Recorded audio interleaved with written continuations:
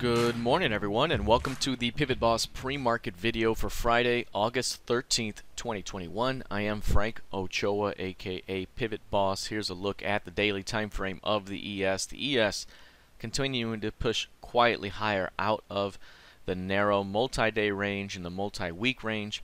It is pushed now through the 4450s and according here to our key range, we still have some upside targets to reach if we use the recent impulse sell-off and bounce back to the mid here, uh, we still have upside targets at 44.65 that could be hit and also at 45.45 ahead. As long as price continues to hold above the top of the key range here which is about uh, 43.97 so any push or pullback into that zone could push park, uh, the market back up toward these highs uh, into the 45.45 as the ultimate target down the road this market remains very bullish overall and uh, again it continues to see a very strong bullish trending structure. The PEMA trigger zone remains intact and even if we were to see any sizable pullback on a multi-day basis here it could still provide a nice boost to that upside target. So right now everything's still flowing to the upside um, fade the edges with an upward bias and again this market remains strong until proven otherwise. Taking a look at the NQ now the NQ has been a bit different. Tech has been lagging uh, the S&P, some of the Dow here, uh, energy stocks, bank stocks leading the way, whereas tech being sold a bit. And you can see here that tech is still below the previous week's close price. It uh, continues to see lower highs and lower lows day over day. And today would be perhaps the first day where we see a higher low and a higher high. We've already seen a higher high today.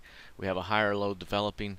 We could pull back as deep as the previous session's midpoint and be a good buying opportunity to finish the week strong and perhaps trigger additional strength next week. So right now, a bit of um, a little channel here that's developed. If price can push through the, the 15 ones, it opens up some strength ahead. So this could be a bullish finish here for the week for the NQ, although it has lagged the broader market.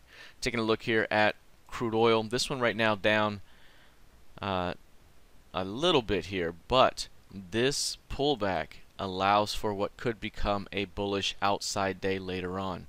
We talked about this in our trading room late yesterday afternoon. The fact that, that we had this very narrow range after a very solid uh, rejection day the day before uh, indicated that we could see a test at this low, which could then be rejected and then pushed higher to new highs. So we're expecting here for price to challenge the previous session's high and become a bullish outside day at some point today and perhaps uh, even see a push into the $70 uh, level which is about a one handle from where we currently are. So right now as long as price continues to hold the previous low, call it 68.50, uh, we have a shot to see a bullish outside day and a shot to see 70 today. Alright, here's a look at gold here. Uh, obviously, we had that major flash crash on Sunday evening. That was preceded by a significant sell-off event on Friday. What we talked about in our trading room on Friday was anytime you see an event of plus 40 points in GC, it tends to trigger additional selling pressure. That's exactly what happened here. Uh, price bounced off of market structure at the 1675 zone and as we mentioned before by by holding that zone it was suggested that we would bounce back toward the breakdown point of 1765 we're there now. And again that kind of goes to reinforce the point when you have a significant flash event price tends to correct itself and go back to the point of origin. We're there now.